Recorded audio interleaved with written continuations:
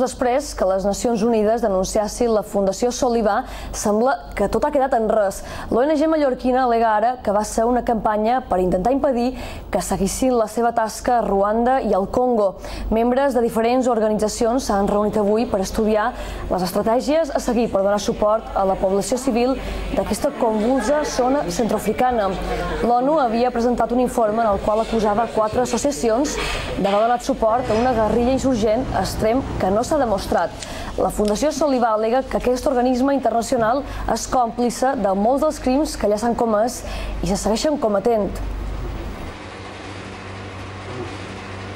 Una vez que soltaron su documento, eh, no han dado ningún paso más que a nosotros nos hubiese gustado, porque lo que nos interesaba precisamente es en un tribunal que merezca mínimamente el nombre de tribunal, eh, nos tuviésemos que confrontar y la ONU se viese obligada a sacar documentos eh, que tiene embargados, documentos gravísimos sobre el asesinato de dos presidentes, sobre el, el, lo que se podría considerar un genocidio.